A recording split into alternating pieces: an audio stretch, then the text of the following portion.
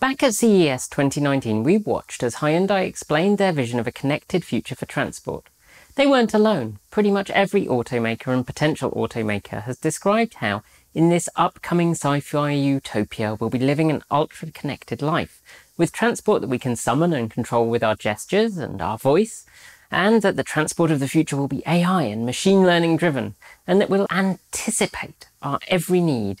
It's the sort of thing envisioned by countless futuristic films, with cars appearing at our whim and disappearing off afterwards to serve others. And to some extent, that's probably the truth. At least part of it.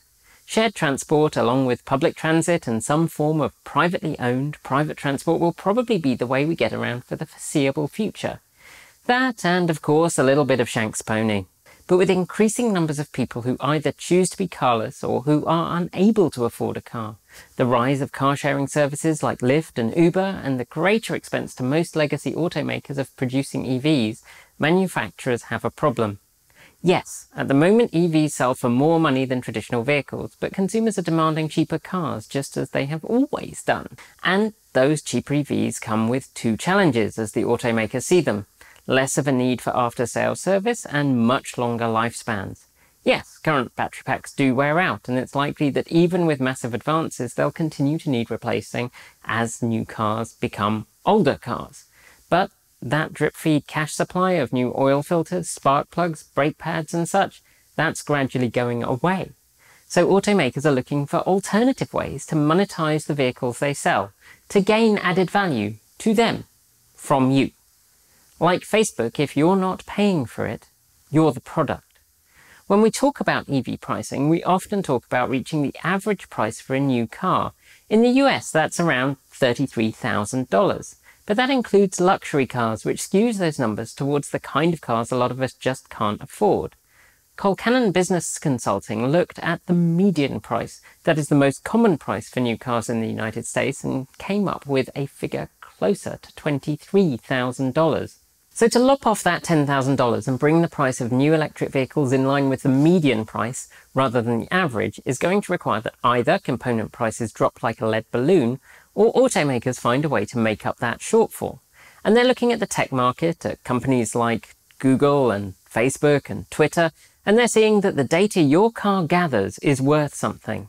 And Hyundai were the most open about that. They have been collecting metadata. Where you go, when you go, how fast you go. All of that is metadata, and Hyundai said they have zettabytes of it. Each zettabyte is 1 billion terabytes. All of that is compiled and waiting for analysis. And there's been a lot of debate about metadata because companies like to treat it like it's nothing useful, at least when they're talking to the public, but they're well aware it's like gold to advertisers. And that's because when you put together a large amount of metadata, you can tell a lot about a person. Your habits define you. Every morning you stop at Starbucks drive-through to get a coffee? Well, rivals like Tim Hortons and Costa would love to know that. Every afternoon you park up at the gym for an hour? Well, I bet Amazon would love to sell you a treadmill. And it can be much more pernicious than that. Your habits change. Let's say you go to see your gynecologist and then a few days later you head to Planned Parenthood or you pop by the sexual health clinic. Well, there's going to be a market for that data too. Part of that is because there's an advertising arms race going on. Advertising barely works anyway, and on top of that, we get used to advertising and it stops working almost completely. So anything that can nudge the needle towards a successful sale is pounced on like a vulture. We have got used to targeted advertising, and so roughly targeted advertising is rapidly losing its power, and companies are increasingly keen to lay their hands on more and more granular data about you to try and find that magic connection that will sell to you. And they're willing to pay. On top of that, as automakers add in more and more features, they're increasingly looking to make the car just another living space. Most of our driving time is not spent blatting down country lanes, feeling the thrill of the tyres skipping across tarmac as we push the car around the corner on three wheels. Well, not unless you're Borzhu Chetinkia. For the rest of us, our drive is spent trundling through traffic jams and down packed city streets, listening to Six Music or NPR, praying for a decent parking space and wondering if the morning meeting might just maybe get cancelled.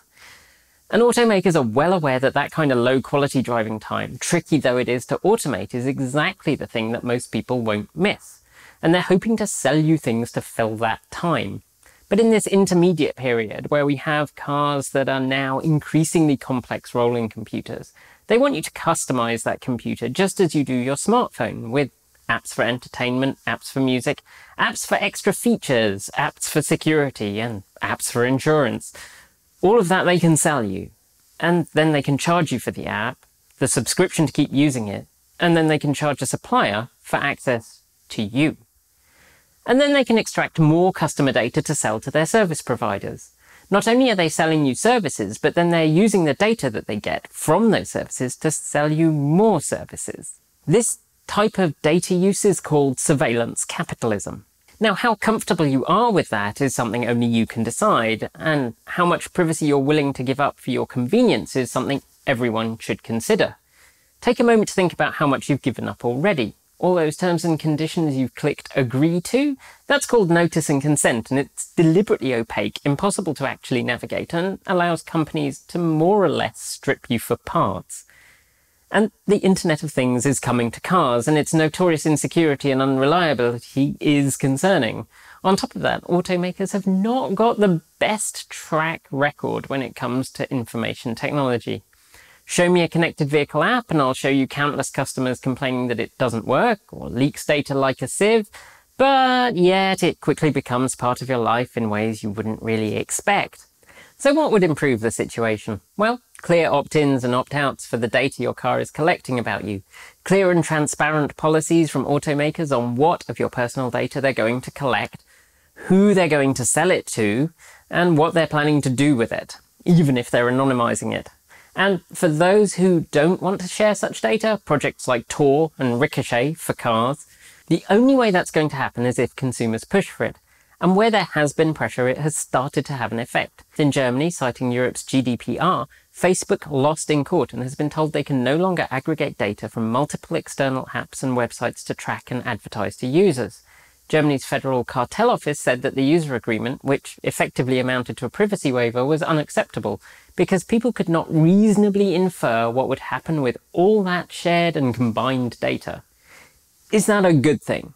Do you care if your car acts like Facebook? Do you think that your data being sold is just the cost of existing in the modern world? Do you just love it when your smartphone reminds you to do something you'd forgotten, but it knew from your habits or your search history, and you wish your car could do that too?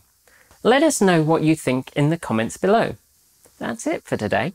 We'll be back with more news, analysis, and reviews soon, and remember to like, comment, and subscribe, and share our videos far and wide. Hit that notification bell below to make sure you know the moment a new show is uploaded, and until next time, keep evolving.